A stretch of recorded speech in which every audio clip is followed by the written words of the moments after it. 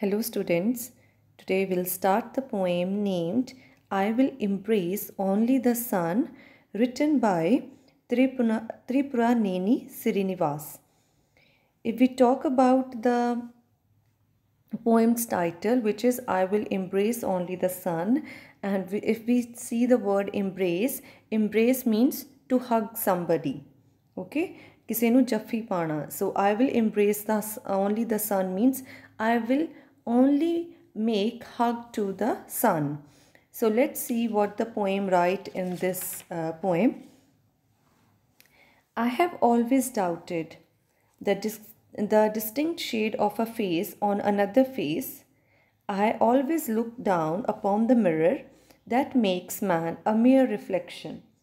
In the first line the poet, a poet writes that I have always doubted.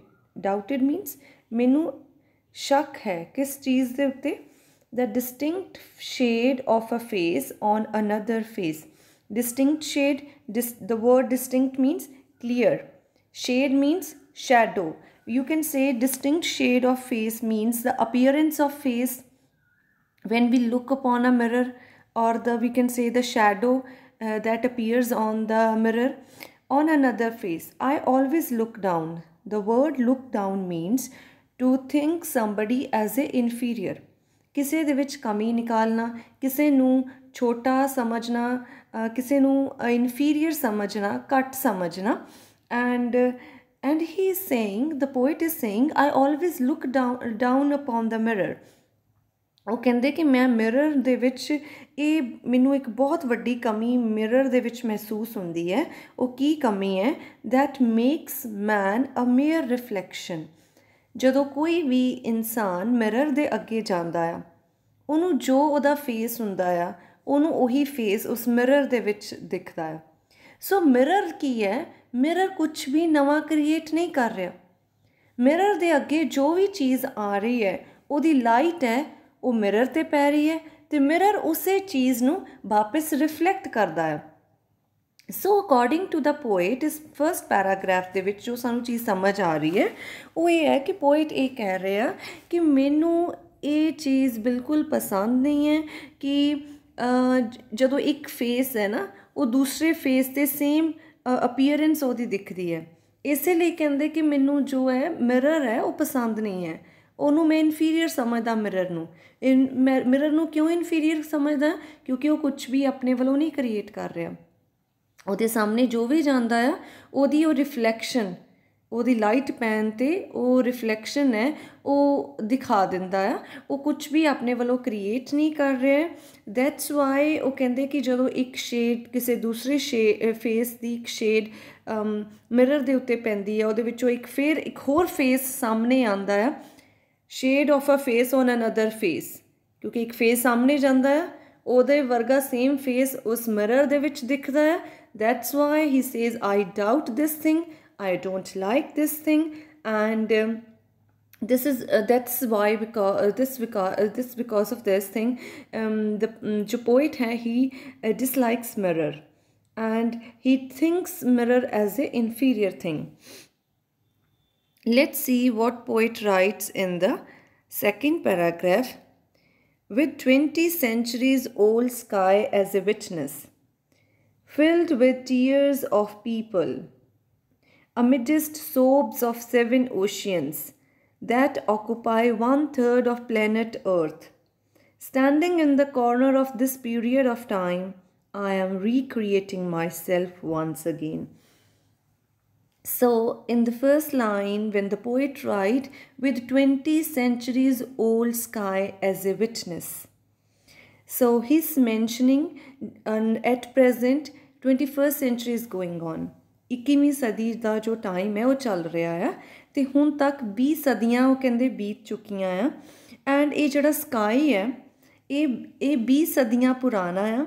And it is a witness witness ਮਤਲਬ ਕੀ ਹੁੰਦਾ ਹੈ? ਇੱਕ ਤਰ੍ਹਾਂ ਨਾਲ ਗਵਾਹ ਆ ਹਿਸਟਰੀ ਦੇ ਵਿੱਚ ਜੋ ਵੀ ਹੋਇਆ filled with the tears of people amidst amidst means surrounded amidst midst sobs of seven oceans. ਆਪਣੀ ਆਪਾਂ ਕਹਿੰਦੇ ਆ ਕਿ ਜਿਹੜਾ ਅਰਥ ਹੈ, ਉਹਦੇ ਵਿੱਚ ਸੱਤ ਸਮੁੰਦਰ ਹੈ। That occupied one third of the planet earth ਤੇ ਆਪਾਂ ਇਹ ਵੀ ਕਹਿੰਨੇ ਆ ਕਿ ਜੋ ਆਪਣੀ ਧਰਤੀ ਹੈ, ਉਹਦੇ ਉੱਤੇ 1/3 ਜਿਹੜਾ ਧਰਤੀ ਦਾ ਪਾਰਟ ਹੈ, ਉਹ ਕਿਹਨੇ ਕਵਰ ਕੀਤਾ ਹੋਇਆ ਹੈ? ਪਾਣੀ ਨੇ ਕਵਰ ਕੀਤਾ ਹੋਇਆ ਹੈ। ਸੋ ਦ ਪੋਇਟ ਜੋ ਵੀ ਇਹ ਚੀਜ਼ਾਂ ਮੈਂਸ਼ਨ ਕਰ ਰਹੇ ਆ, ਉਹ ਇਹ ਕਹਿ ਰਹੇ ਆ ਕਿ 20 ਸਦੀਆਂ ਬੀਤ ਗਈਆਂ ਆ। 20 ਸਦੀਆਂ ਦੇ ਵਿੱਚ ਜੋ ਕੁਝ ਵੀ ਹੋਇਆ, ਜੋ ਲੋਕਾਂ ਦੇ ਦੁੱਖ ਸੀ, ਜੋ ਜੋ ਕੁਝ ਵੀ ਹੋਇਆ, ਹਨਾ? ਸੋਰੋਜ਼ ਆਫ ਪੀਪਲ ਜਿੰਨੇ ਵੀ ਇਸ ਇਸ ਦੁਨੀਆ ਦੇ, ਇਸ ਧਰਤੀ ਦੇ ਉੱਤੇ ਜਿੰਨੇ ਵੀ ਸੋਰੋਜ਼ ਕਲੈਕਟ ਹੋਏ ਆ, ਇਕੱਠੇ ਹੋਏ ਆ, ਉਹ ਸਾਰੇ ਉਸ ਸਮੁੰਦਰ ਦੇ ਵਿੱਚ ਇੱਕ ਤਰ੍ਹਾਂ ਨਾਲ ਕਹਿ ਰਹੇ ਆ ਕਿ ਆਪਾਂ ਇਕੱਠੇ ਹੋ ਗਏ ਆ। ਤੇ ਇਸ ਚੀਜ਼ ਦਾ ਗਵਾਹ ਕੌਣ ਹੈ? ਇਸ ਚੀਜ਼ ਦਾ ਗਵਾਹ ਹੈ ਸਕਾਈ ਜਿਹੜਾ ਕਿ 20 ਸਦੀਆਂ ਪੁਰਾਣਾ ਆ so his his referring to the history of mankind ਕਿ ਹਿਸਟਰੀ ਦੇ ਵਿੱਚ ਕੁਝ ਵੀ ਹੋਇਆ ਹੋਵੇ standing in the corner of this period of time I am recreating once again ਉਹ ਕਹਿੰਦੇ ਹਿਸਟਰੀ ਦੇ ਵਿੱਚ ਜੋ ਕੁਝ ਵੀ ਹੋਇਆ ਹੋਵੇ I am not going to take any clues any hints from the history but in this period of time i am standing here and i will recreate myself once again ਕਹਿੰਦੇ ਮੈਂ ਕੁਝ ਵੀ ਪੁਰਾਣਾ ਹਿਸਟਰੀ ਦਾ ਨਹੀਂ ਲਵਾਂਗਾ ਮੈਂ ਇੱਥੇ ਆਪਨੇ ਆਪ ਨੂੰ ਇੱਕ ਦੁਬਾਰਾ ਰੀਕ੍ਰੀਏਟ ਕਰਾਂਗਾ, ਇੱਕ ਨਵੀਂ ਹਿਸਟਰੀ ਬਣਾਵਾਂਗਾ, ਜੋ ਹਿਸਟਰੀ ਦੇ ਵਿੱਚ ਹੈ, ਜੋ ਪੁਰਾਣਾ ਚੱਲਿਆ ਆ ਰਿਹਾ ਆ।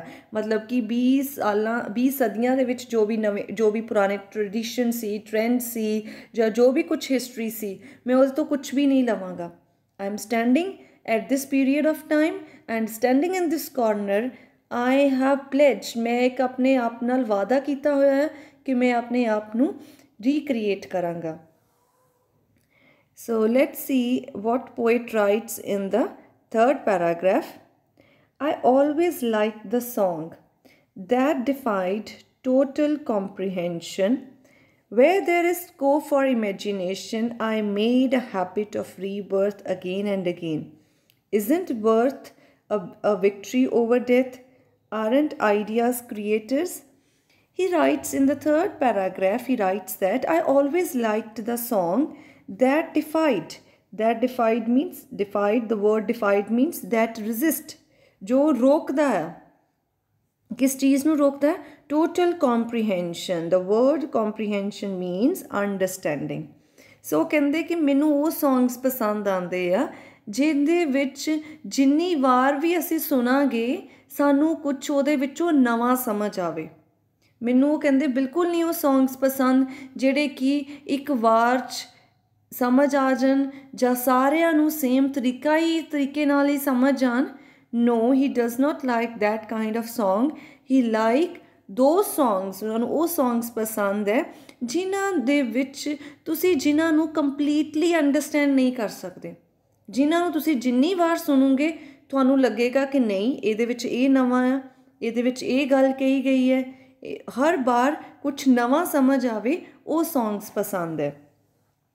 where there is a there is scope for imagination I, ha- I made a habit of rebirth again and again ਉਹ ਕਹਿੰਦੇ ਕਿ ਜਿੱਥੇ ਵੀ ਕਿਤੇ ਮੈਨੂੰ ਸਕੋਪ ਦਿਖਦਾ ਆ ਕਿ ਇਹਦੇ ਵਿੱਚ ਇਮੇਜਿਨੇਸ਼ਨ ਦਾ ਸਕੋਪ ਹੈ ਇਹਦੇ ਵਿੱਚ ਇਮੇਜਿਨੇਸ਼ਨ ਕੀਤੀ ਜਾ ਸਕਦੀ ਹੈ ਆਈ made habit of re rebirth again and again a habit of rebirth means to be born again and again new fashion ਮਤਲਬ ਇੱਥੇ ਕੀ ਹੈ ਵੀ ਜਿੱਥੇ ਕਿਤੇ ਵੀ ਅਸਲ 'ਤੇ ਮੈਂ ਆਪਣੀ ਇਮੇਜਿਨੇਸ਼ਨ ਯੂਜ਼ ਕਰ ਸਕਦਾ ਹੈ ਇਦਾਂ ਦਾ ਸਕੋਪ ਹੈ ਤਾਂ ਮੈਂ ਉੱਥੇ ਆਪਣੀ ਆਦਤ ਬਣਾ ਲਈ ਹੈ ਕਿ ਉੱਥੇ ਮੈਂ ਹਮੇਸ਼ਾ ਇਮੇਜਿਨੇਸ਼ਨ ਕਰਾਂਗਾ and I will give birth to something new ਜੋ ਬਾਕੀ ਲੋਕ ਮਹਿਸੂਸ ਕਰ ਰਹੇ ਕਿ ਇਹਦਾ ਇਹ मीनिंग ਹੈ ਇਹ ਇਸ ਤਰ੍ਹਾਂ ਹੋਣਾ ਚਾਹੀਦਾ ਆ ਨਹੀਂ ਮੈਂ ਕਹਿੰਦੇ ਬਾਕੀਆਂ ਨੂੰ ਫੋਲੋ ਨਹੀਂ ਕਰਾਂਗਾ ਜੋ ਮੈਨੂੰ ਲੱਗੇਗਾ ਕਿ if there is a scope for imagination ਮੈਂ ਇਹਦੇ ਵਿੱਚ ਕੁਝ ਨਵਾਂ ਸੋਚ ਕੇ ਕੁਝ ਨਵਾਂ ਕ੍ਰੀਏਟ ਕਰ ਸਕਦਾ ਹਾਂ, ਤਾਂ ਮੈਂ ਕਹਿੰਦੇ ਉੱਥੇ ਆਪਣੀ ਇਹ ਆਦਤ ਬਣਾ ਲਈ ਹੈ I always create something new is it birth a victory over death ਕਹਿੰਦੇ ਕਿ ਆਪਾਂ ਡੈਥ ਨੂੰ ਆਪਾਂ ਕੀ ਸਮਝਦੇ ਹਾਂ? Death means a kind of end death ਨੂੰ ਅਸੀਂ ਹਮੇਸ਼ਾ ਕੀ ਲੈਂਦੇ ਹਾਂ? ਐਂਡ ਔਰ ਬਰਥ ਨੂੰ ਅਸੀਂ ਕੀ ਲੈਂਦੇ ਹਾਂ? Beginning of something new so ਜਿੱਥੇ ਬਿਗਨਿੰਗ ਹੋ ਰਹੀ ਹੈ, ਤਾਂ ਕਹਿੰਦੇ ਕੀ ਇਹ ਜਿੱਤ ਨਹੀਂ ਹੁੰਦੀ ਕਿ ਇੱਕ ਬਰਥ ਹੈ ਜਿਹੜਾ, ਉਹ ਹਮੇਸ਼ਾ ਉੱਪਰ ਰਹੇਗਾ ਓਵਰ ਡੈਥ ਅਗਰ ਅਸੀਂ ਫੋਲੋ ਕਰੀ ਜਾਵਾਂਗੇ, ਕਿਸੇ ਨੂੰ ਵੀ ਬਲਾਈਂਡਲੀ ਫੋਲੋ ਕਰੀ ਜਾਵਾਂਗੇ, ਜਾਂ ਜੋ ਲੋਕ, ਬਾਕੀ ਲੋਕ ਸੋਚ ਰਹੇ ਆ ਸੇਮ ਉਹੀ ਚੀਜ਼ਾਂ ਨੂੰ ਦਿਮਾਗ 'ਚ ਉਸੇ ਕਨਸੈਪਟ ਨੂੰ ਲੈ ਕੇ ਚੀਜ਼ਾਂ ਨੂੰ ਸਮਝਾਂਗੇ then it is a kind of a end ਅਗਰ ਅਸੀਂ ਆਪਣੀ ਸੋਚ ਲਗਾਵਾਂਗੇ, ਆਪਣੀ ਇਮੇਜਿਨੇਸ਼ਨ ਲਗਾਵਾਂਗੇ it will be a kind of giving birth to that thing ਕੋਈ ਨਵੀਂ ਚੀਜ਼ ਨੂੰ ਅਸੀਂ ਜਨਮ ਦਵਾਂਗੇ। So next line he writes aren't ideas creators ਕਿ ਜਦੋਂ ਵੀ ਕਿਸੇ ਨੂੰ ਆਈਡੀਆਜ਼ ਆਉਂਦੇ ਆ ਹਮੇਸ਼ਾ ਆਈਡੀਆ ਜਿਹੜਾ ਹੁੰਦਾ ਆ, ਉਹ ਕੁਛ ਨਾ ਕੁਛ ਨਵਾਂ ਕ੍ਰੀਏਟ ਕਰਦਾ ਆ। ਸੋ ਬੈਟਰ ਕੌਣ ਹੁੰਦਾ ਆ? ਜੋ ਕ੍ਰੀਏਟ ਕਰਦਾ ਆ, ਨਾ ਕਿ ਜੋ ਕਿਸੇ ਚੀਜ਼ ਨੂੰ ਡਿਸਟਰੋਏ ਕਰਦਾ ਆ। ਕ੍ਰੀਏਟ ਕਰਨ ਵਾਲਾ ਹਮੇਸ਼ਾ ਆ, ਵੱਡਾ ਹੋਏਗਾ ਰੈਦਰ ਦੈਨ ਜੋ ਚੀਜ਼ਾਂ ਨੂੰ ਡਿਸਟਰੋਏ ਕਰੇਗਾ। So he want us to remember that we should always imagine ਜਦੋਂ ਵੀ ਕੁਝ ਪੜ੍ਹਦੇ ਆ ਜਾਂ ਜਦੋਂ ਵੀ ਕੁਝ ਕਰਨਾ ਆ ਉਹਦੇ ਵਿੱਚ ਆਪਣੀ ਸੋਚ ਆਪਣੀ ਇਮੇਜਿਨੇਸ਼ਨ ਪਾਈਏ ਨਾ ਕਿ ਦੂਸਰਿਆਂ ਦੀ ਇਹਦੇ ਬਾਰੇ ਕੀ ਸੋਚ ਹੈ ਕੀ ਇਮੇਜਿਨੇਸ਼ਨ ਹੈ ਉਹਨਾਂ ਨੇ ਇਹਦੇ ਬਾਰੇ ਕੀ ਕਿਹਾ ਉਹਨੂੰ ਉਹਨੂੰ ਆਧਾਰ ਬਣਾ ਕੇ ਨਾ ਅਸੀਂ ਕੁਝ ਵੀ ਕਰੀਏ। So let's see what the poet writes in the next paragraph. He writes, I never forget forgot the fact of poem being repeated by scores. I always resent the affront of men echoing emptily. Witnessed by 25 autumn seasons, have shed many deaths and reborn yet again. Standing in the corner of this his period of history, I am instructing men how to sign. He says that I never forget the fact of a poem being repeated by scores. Scores means uh, repeated by large number of people, countless number of people. ਕਹਿੰਦੇ ਅਗਰ ਮੈਂ poems ਵੀ ਲਿਖਦਾ ਆ right poems ਕਹਿੰਦੇ ਮੈਂ ਇਸ ਇਸ fact ਨੂੰ ਕਦੇ ਨਹੀਂ ਭੁੱਲਦਾ ਕਿ ਜੋ ਵੀ ਪੋਇਮਸ ਹੈ ਮੇਰੀਆਂ ਜਾਂ ਮੇਰੀਆਂ ਪੋਇਮ ਲਿਖੀਆਂ ਹੋਈਆਂ ਜਾਂ ਕੋਈ ਵੀ ਪੋਇਮਸ ਜਿਹੜੀਆਂ ਲਿਖੀਆਂ ਆ ਉਹਨਾਂ ਨੂੰ ਪਤਾ ਨਹੀਂ ਕਿੰਨੀ ਵਾਰ ਕਿੰਨੀ ਵਾਰ ਪੜਿਆ ਜਾਏਗਾ ਔਰ ਕਿੰਨੇ ਲੋਕ ਪੜਨਗੇ ਉਹਨਾਂ ਪੋਇਮਸ ਨੂੰ ਸੋ ਇਹ ਅਸੀਂ ਇਦਾਂ ਕੋਈ ਫਿਕਸ ਨਹੀਂ ਆ ਕਿ ਇਹ ਪੋਇਮ ਹੈ ਇਹਨੂੰ 20 ਬੰਦੇ ਪੜਨਗੇ ਇਹਨੂੰ 100 ਬੰਦੇ ਹੀ ਪੜਨਗੇ it is not fix we never know ਕਿ ਜਿਹੜੀ ਇੱਕ ਪੋਇਮ ਇੱਕ ਪੋਇਟ ਨੇ ਲਿਖੀ ਹੈ ਉਹਨੂੰ ਕਿੰਨੇ ਲੋਕ ਪੜ ਰਹੇ ਹੋਣਗੇ ਸੋ ਜੋ ਲੋਕ ਵੀ ਉਹਨੂੰ ਪੜਨਗੇ ਉਸ ਪੋਇਮ ਨੂੰ ਪੜਨਗੇ they must deduce their own meanings ਉਹਨਾਂ ਨੂੰ ਉਸ ਪੋਇਮ ਦੇ ਵਿੱਚੋਂ ਆਪਣੇ ਮੀਨਿੰਗਸ ਹੀ ਨਿਕਾਲਨੇ ਚਾਹੀਦੇ ਆ। ਬਟ ਉਹ ਕਹਿੰਦੇ ਮੈਨੂੰ ਇਸ ਚੀਜ਼ ਤੇ ਇਸ ਇਸ ਚੀਜ਼ ਤੇ ਗੁੱਸਾ ਆਉਂਦਾ ਹੈ ਇਸ ਚੀਜ਼ ਦਾ ਪਛਤਾਵਾ ਹੁੰਦਾ ਹੈ। I always resent the affront of men echoing emptily echoing emptily the meaning ਕੀ ਹੁੰਦਾ ਹੈ? Repeat uh, repeat same thing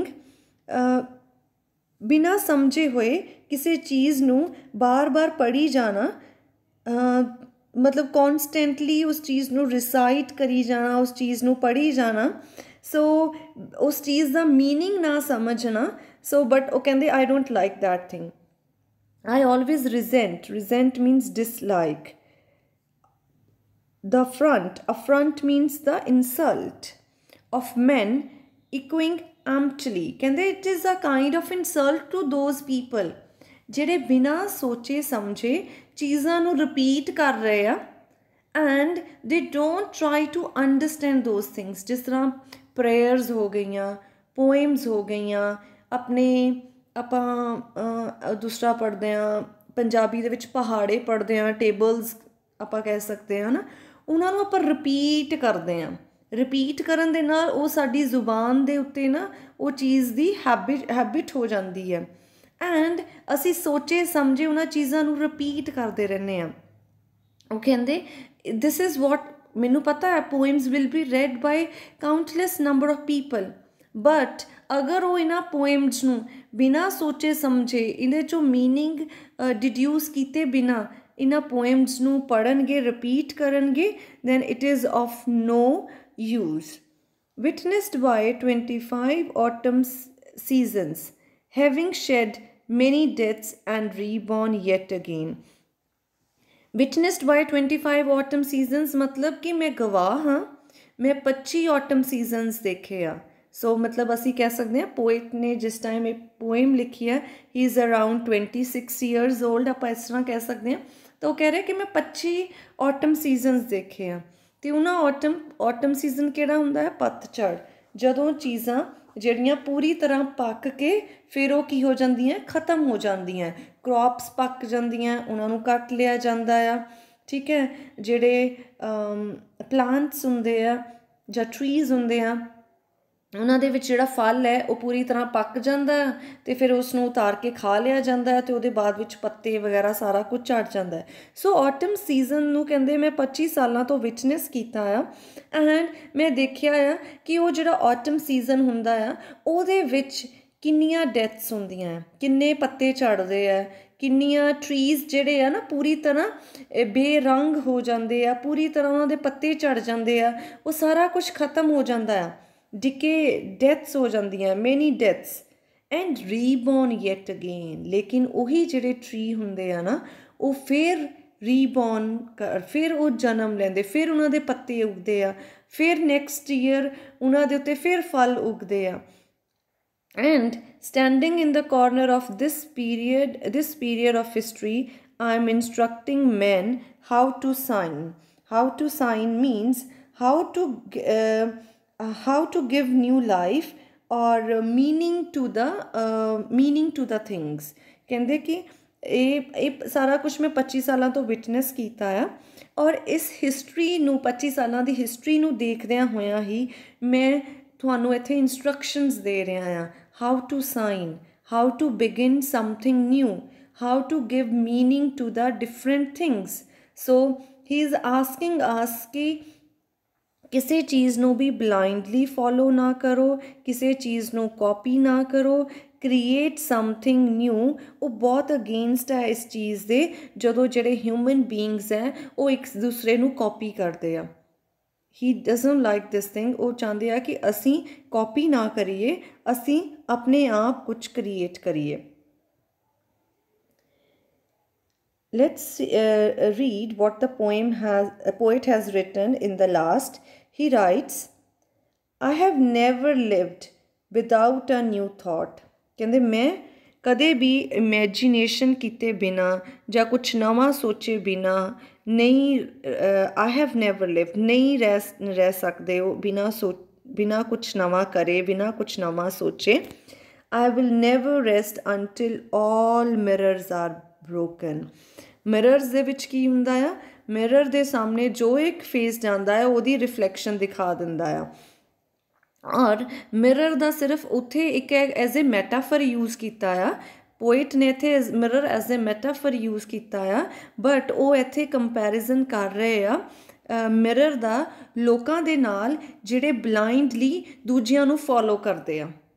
and ਆਪਣੀ ਸੋਚ, ਆਪਣੀ ਸਮਝ ਦਾ ਯੂਜ਼ ਨਹੀਂ ਕਰਦੇ। ਜੋ ਕਿਸੇ ਨੇ ਕਹਿ ਦਿੱਤਾ, ਜੋ ਲੋਕ, ਬਾਕੀ ਲੋਕ ਕਰਦੇ ਆ ਸੇਮ ਉਹਨਾਂ ਚੀਜ਼ਾਂ ਨੂੰ ਹੀ ਕਾਪੀ ਕਰ ਰਹੇ ਆ ਕਿ ਅਸੀਂ ਤਾਂ ਇਸ ਤਰ੍ਹਾਂ ਹੀ ਹੁੰਦਾ ਆ, ਇਸ ਤਰ੍ਹਾਂ ਹੀ ਕਰਾਂਗੇ। ਲੋਕ ਕੀ ਕਹਿਣਗੇ? ਅਗਰ ਅਸੀਂ ਇਹ ਇਸ ਤਰ੍ਹਾਂ ਕਰਾਂਗੇ ਕੁਝ ਨਵਾਂ ਕਰਾਂਗੇ, ਲੋਕ ਕੀ ਸਾਨੂੰ ਕਹਿਣਗੇ? ਸੋ ਆਲ ਸੱਚ ਥਿੰਗਸ ਇੱਥੇ ਮਿਰਰ ਜੋ ਹੈ ਮੈਟਾਫਰ ਹੈ, which is used for a people who blindly follow one another paid ਚਾਲ ਜਿਹੜੀ ਹੁੰਦੀ ਹੈ so that's why the poet is writing ਕਿ I will not rest until the mirrors are broken ਜਦ ਤੱਕ ਲੋਕ ਇੱਕ ਦੂਜੇ ਨੂੰ blindly follow ਕਰਨਾ ਨਹੀਂ ਛੱਡਦੇ I will not rest I will keep inspiring and instructing people to imagine or create something new I cannot love the moon with all its brilliance. Even if consumed by flames, I will embrace only the sun. Kende, I cannot love the moon. The poet is saying he does not like the moon. जो moon है ਬਹੁਤ ਚਮਕਦਾ it has its brilliance ਰਾਤ ਨੂੰ ਅੰਧੇਰੇ ਦੇ ਵਿੱਚ moon ਹੈ ਨਾ ਉਹ ਬਹੁਤ ਚਮਕਦਾ ਹੈ ਬਹੁਤ ਬ੍ਰਿਲੀਅੰਸ ਹੈ ਉਹਦੇ ਵਿੱਚ ਬਹੁਤ ਲਾਈਟ ਹੈ ਲੇਕਿਨ ਫਿਰ ਵੀ ਉਹ ਕਹਿੰਦੇ ਮੈਨੂੰ ਮੂਨ ਪਸੰਦ ਨਹੀਂ ਹੈ। Even if consumed by flames ਕਿਉਂਕਿ ਅਗਰ ਅਸੀਂ ਸੂਰਜ ਦੇ ਨਜ਼ਦੀਕ ਜਾਵਾਂਗੇ ਨਾ we will be consumed by flames ਜਿਹੜਾ ਜਿਹੜਾ ਸੂਰਜ ਹੈ, ਉਹਦੀ ਇੰਨੀ ਕੁ ਜ਼ਿਆਦਾ ਤਪਸ਼ ਹੁੰਦੀ ਹੈ ਕਿ ਜਿਹੜਾ ਵੀ ਕੋਈ ਉਹਦੇ ਨਜ਼ਦੀਕ ਜਾਏਗਾ, ਜਿਹੜਾ ਸੂਰਜ ਹੈ, ਉਹ ਉਹਨੂੰ ਡਿਸਟਰੋਏ ਕਰ ਦੇਗਾ। ਉਹਨੂੰ ਉਸ, ਉਹ ਬੰਦਾ ਸੂਰਜ ਦੇ ਪਾਸ ਜਾ ਕੇ ਉਸ ਦੀ ਅੱਗ ਦੇ ਵਿੱਚ ਝੁਲਸ ਜਾਏਗਾ। ਉਹ ਕਹਿੰਦੇ, ਚਾਹੇ ਮੈਂ ਉਹਦੀ ਅੱਗ ਦੇ ਵਿੱਚ ਝੁਲਸ ਕਿਉਂ ਨਾ ਜਾਵਾਂ I will embrace only the sun I would love to hug sun ਮੈਂ ਸਨ ਨੂੰ ਜੱਫੀ ਪਾਣਾ ਪਸੰਦ ਕਰਾਂਗਾ rather than going near to the moon ਕਿਉਂ? ਇਸ ਤਰ੍ਹਾਂ ਕਿਉਂ? ਕਿਉਂਕਿ ਜੋ ਮੂਨ ਹੈ, ਉਹਦੇ ਕੋਲ ਆਪਣੀ ਲਾਈਟ ਨਹੀਂ ਹੁੰਦੀ। Moon is the reflection of the sunlight ਜੋ ਸਨ ਹੈ it has its own light ਇਹ ਸਾਇੰਸ ਦੀ ਇੱਕ ਥਿਊਰੀ ਹੈ। ਸਾਇੰਸ ਦਾ ਇੱਕ ਕਨਸੈਪਟ ਹੈ। ਜੋ ਮੂਨ ਹੈ it does not have its own light ਉਹਦੇ ਕੋਲ ਆਪਣੀ ਰੋਸ਼ਨੀ ਨਹੀਂ ਹੈ। ਉਹ ਜੋ ਮੂਨ ਹੈ, ਉਹ ਰਿਫਲੈਕਸ਼ਨ ਹੈ, ਸਿਰਫ ਸਨ ਦੀ। ਜਦੋਂ ਜਦੋਂ ਅਰਥ ਹੈ, ਉਹ ਰੋਟੇਟ ਕਰਦੀ ਹੈ, ਠੀਕ ਹੈ? ਔਰ ਉਸ ਟਾਈਮ ਉਹ ਸੂਰਜ ਜਿਹੜਾ ਆ, ਉਸ ਅਰਥ ਦੇ ਦੂਸਰੀ ਸਾਈਡ ਚਲੇ ਜਾਂਦਾ ਆ। ਐਂਡ ਸੋ ਸਿਮਿਲਰਲੀ ਜੋ ਉਸ ਟਾਈਮ ਅੰਧੇਰਾ ਹੋ ਜਾਂਦਾ ਹੈ ਫਿਰ ਜਦੋਂ ਦੂਸਰੀ ਸਾਈਡ ਜਾਂਦੇ ਆ ਉਸ time it it becomes night ਉਸ ਟਾਈਮ ਰਾਤ ਹੋ ਜਾਂਦੀ ਹੈ ਅੰਧੇਰਾ ਹੋ ਜਾਂਦਾ and there comes the moon ਠੀਕ ਹੈ ਸਨ ਉੱਥੇ ਹੀ ਰਹਿੰਦਾ ਆ it's all the rotation of the earth earth the rotation ਨਾਲ ਇਹ ਸਾਰਾ ਕੁਝ ਹੋ ਰਿਹਾ ਆ ਤੇ ਸਨ ਉੱਥੇ ਹੀ ਰਹਿੰਦਾ ਆ ਤੇ ਮੂਨ ਵੀ ਉੱਥੇ ਹੀ ਹੁੰਦਾ ਆ ਬਟ ਜੋ ਮੂਨ ਹੈ ਉਹਦੇ ਕੋਲ ਆਪਣੀ ਲਾਈਟ ਨਹੀਂ ਹੈ ਉਹ ਮੂਨ ਰਾਤ ਨੂੰ ਜੋ ਚਮਕਦਾ ਹੈ ਨਾ, ਉਹ ਲਾਈਟ ਕਿਹਦੇ ਤੋਂ ਲੈਂਦਾ ਹੈ? From the son so origignal ਕੌਣ ਹੈ? Origignal is the sun and so that's why ਜੋ ਪੋਇਟ ਹੈ, ਉਹ ਸਾਨੂੰ ਬਾਰ-ਬਾਰ ਇਹ ਚੀਜ਼ ਸਮਝਾ ਰਹੇ ਆ ਕਿ we should be origignal we should do something new and or ਅਸੀਂ ਕੁਝ ਇਮੇਜਿਨ ਕਰੀਏ ਕੁਝ ਨਵਾਂ ਕ੍ਰੀਏਟ ਕਰੀਏ ਔਰ ਉਹ ਇਸ ਚੀਜ਼ ਦੀ ਬਹੁਤ ਕੜੀ ਨਿੰਦਾ ਕਰਦੇ ਆ ਕਿ ਬਲਾਈਂਡ ਇਮੀਟੇਸ਼ਨ ਬਿਨਾ ਕਿਸੇ ਨੂੰ ਕਿਸ, ਬਿਨਾ ਸੋਚੇ ਸਮਝੇ ਕਿਸੇ ਨੂੰ ਅੱਖਾਂ ਬੰਦ ਕਰਕੇ ਕਾਪੀ ਕਰਨਾ is really really bad thing one must have originality in ideas, in attitude, in thinking. So ਕਿਸੇ ਨੂੰ ਕਿਸ, ਕੋਈ ਫਾਇਦਾ ਨਹੀਂ ਹੁੰਦਾ ਜਦੋਂ ਤੁਸੀਂ ਕਿਸੇ ਨੂੰ, ਕਿਸੇ ਨੇ ਤੁਹਾਨੂੰ ਕੀ ਕਿਹਾ, ਤੁਸੀਂ ਸੇਮ ਉਹ ਚੀਜ਼ ਕਹਿਣ ਲੱਗ ਜੋ ਉਹ ਚੀਜ਼ਾਂ ਕਿਸੇ ਨੇ ਤੁਹਾਨੂੰ ਕਿਹਾ ਕਿ ਇਸ ਤਰ੍ਹਾਂ ਬੋਲਣਾ ਚਾਹੀਦਾ, ਤੁਸੀਂ ਉਹ ਚੀਜ਼ਾਂ ਸੇਮ ਉਸੇ ਤਰ੍ਹਾਂ ਬੋਲਣ ਲੱਗ ਜੋ। ਕਿਸੇ ਨੇ ਕਿਹਾ ਕਿ ਤੁਹਾਨੂੰ ਇਹ ਕਰਨਾ ਚਾਹੀਦਾ ਤੇ ਤੁਸੀਂ ਉਹ ਕਰਨ ਲੱਗ ਜੋ। ਸੋ ਉਹਦੇ ਨਾਲ ਕੀ ਹੈ? ਫਰੈਸ਼ਨੈਸ ਨਹੀਂ ਰਹਿੰਦੀ। ਸੋ ਅਗਰ ਅਸੀਂ, ਤੁਸੀਂ ਕੁਝ ਨਵਾਂ ਕਰਦੇ ਆ देयर ਕਮਸ ਦਾ ਫਰੈਸ਼ਨੈਸ ਔਰ ਇਹ ਜਿਹੜੀ એનર્ਜੀ ਹੈ ਜਾਂ ਜ਼ਿੰਦਗੀ ਦੇ ਵਿੱਚ ਜੋ ਬੰਦੇ ਨੂੰ એનર્ਜੀ ਮਿਲਦੀ ਆ ਉਹ ਕੁਝ ਨਵਾਂ ਕ੍ਰੀਏਟ ਕਰਕੇ ਹੀ ਮਿਲਦੀ ਆ ਸੋ ਸਾਨੂੰ ਆਪਣੀ ਇਹ ਉਹ ਬਾਰ-ਬਾਰ ਕਿਉਂ ਕਹਿ ਰਿਹਾ ਹੈ? ਕੰਜ਼ਿਊਮਡ ਬਾਈ ਫਲੇਮਸ ਕਿ ਮੈਂ ਆਗ ਦੇ ਵਿੱਚ ਝੁਲਸ ਕਿਉਂ ਨਾ ਜਾਵਾਂ? Then then also I will embrace the sun ਮਤਲਬ ਕਿ ਉਹ ਕਹਿੰਦੇ ਕਿ ਜਦੋਂ ਵੀ ਤੁਸੀਂ ਕੁਝ ਨਵਾਂ ਕਰੋਗੇ ਨਾ, ਤੁਹਾਡੇ ਅੱਗੇ ਬਹੁਤ ਸਾਰੀਆਂ ਪ੍ਰੋਬਲਮਸ ਆਣਗੀਆਂ ਉਹਨਾਂ ਪ੍ਰੋਬਲਮਸ ਤੋਂ ਡਰਨਾ ਨਹੀਂ ਹੈ। ਉਹਨਾਂ ਪ੍ਰੋਬਲਮਸ ਨੂੰ ਫੇਸ ਕਰਨਾ ਆ, ਚਾਹੇ ਤੁਹਾਨੂੰ ਆਪਣੀ ਪੂਰੀ ਜ਼ਿੰਦਗੀ ਕਿਉਂ ਨਾ ਲਗਾਣੀ ਪੈ ਜਵੇ।